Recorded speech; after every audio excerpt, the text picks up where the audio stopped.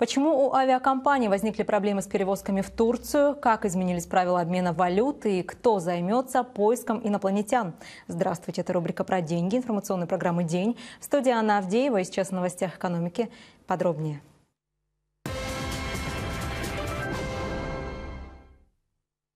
Могут ли владельцы крупных банков ими управлять? Вопрос корректности совмещения роли собственника и единоличного руководителя обсуждался на финансовом конгрессе в Санкт-Петербурге. Не исключено, что в перспективе тему поднимут на регулятивном уровне, пишет газета «Коммерсант». По мнению представителей Центробанка, это позволит исключить конфликт интересов. Если банком управляет владелец, у которого есть другой бизнес, он может игнорировать риски, возникающие в увеличении объема кредитования. Когда организация руководит наемный менеджер, такие злоупотребления теоретически меньше. Сейчас в России не так много крупных банков, где собственники осуществляют оперативное руководство. Это явление они объясняют кризисом.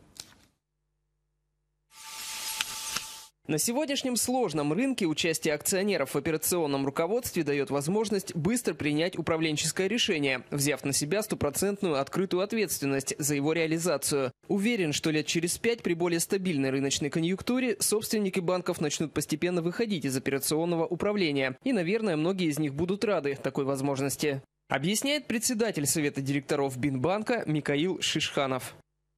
Самолетов катастрофически не хватает. Авиакомпании предупредили о возможных проблемах с перевозками в Турцию. Предполагалось, что первые чартеры полетят на турецкие курорты уже 7 июля, однако сейчас все лайнеры авиакомпаний задействованы на других направлениях.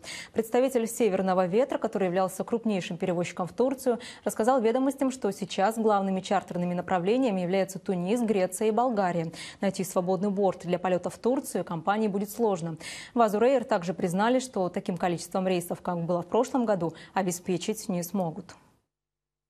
Правительство утвердило единые правила отбора подрядчиков для проведения капремонтов. Компании должны будут пройти отбор и дождаться включения в региональный реестр. Чтобы в него попасть, подрядчикам придется подтвердить свою репутацию. У них не должно быть долгов по налогам и контрактов, расторгнутых из-за существенных нарушений. Ответственность операторов будет обеспечиваться безотзывными банковскими гарантиями на всю сумму обязательств и обеспечительными платежами. Новый порядок станет федеральной гарантией эффективности использования собранных средств.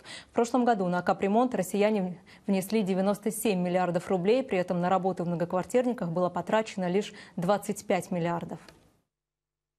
В России упрощен обмен валюты. Президент подписал поправки в закон о противодействии отмыванию доходов, полученных преступным путем и финансированию терроризма. Напомню, с прошлого года в России при проведении валютно-обменных операций на сумму свыше 15 тысяч рублей клиенту необходимо было предъявить паспорт и оставить контактную информацию – номер телефона, факс, электронную почту и ИНН. При этом банк мог потребовать сведения о финансовом положении человека и источнике происхождения его денег.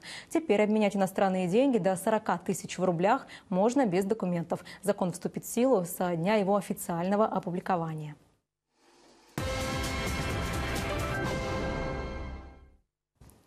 Россияне получат пенсионные накопления живыми деньгами. По прогнозам Минтруда, массовые выплаты единовременных платежей начнутся в следующем десятилетии. Об этом пишет «Известия». Предполагается, что с 2022 по 2031 год деньги получат около 9 миллионов человек. Тогда на пенсию начнут выходить граждане 67 года рождения и моложе, за которых работодатели отчисляли накопительную часть по 6%. У большинства застрахованных выплаты составят 3% от суммы пенсии. Всего на разовые платежи пенсионеров пенсионерам по прогнозам понадобится 797 миллиардов рублей. Однако эксперты отмечают, что единовременные выплаты накопления – это не только риск для самих застрахованных, ниже коэффициент замещения и размер пенсии, но и для экономики в целом.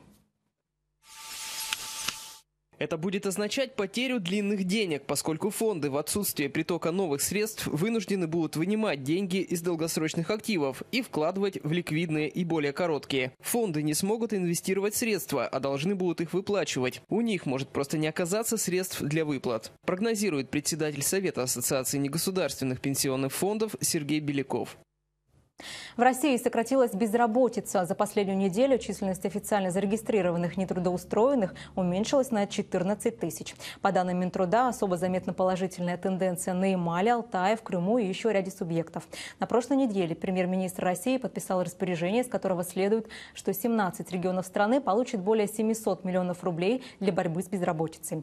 Деньги в том числе выделят и Челябинской области. По данным опроса Национального агентства финансовых исследований, доля россиян, которые не верят лет возможность найти новую работу в случае увольнения выросла до 39%.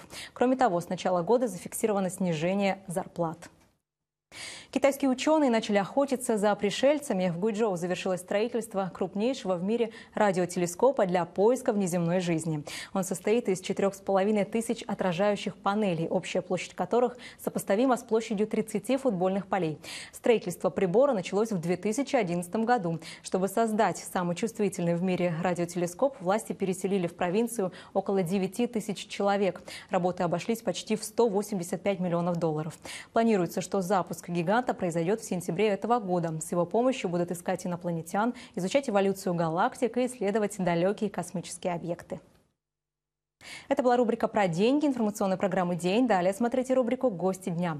Придется ли менять старые бланки полисов ОСАГО на новые, расскажет руководитель Российского союза автостраховщиков ВУРФО Вячеслав Тарасов. До свидания и удачи в делах. Знай свои деньги. На территории Российской Федерации в обращении находятся банкноты Банка России номиналом 1000 рублей образца 1997 года, модификации 2010 года. Проверяйте признаки подлинности банкноты. Герб Ярославля. При наклоне банкноты блестящая полоса перекатывается по гербу вверх или вниз. Защитная нить видна на лицевой стороне в окне фигурной формы. При наклоне банкноты в окне появляются радужный блеск или число 1000. С оборотной стороны защитная нить – это светло-серая полоса с темными числами 1000, которые на просвет становятся светлыми на темной полосе. На однотонном поле при наклоне банкноты появляются цветные полосы. Они переходят в полосы, которые видны постоянно на темном участке в нижней части поля.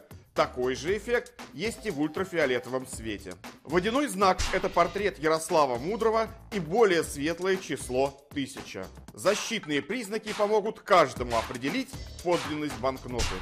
Подробную информацию вы можете найти на сайте Банка России www.cbr.ru.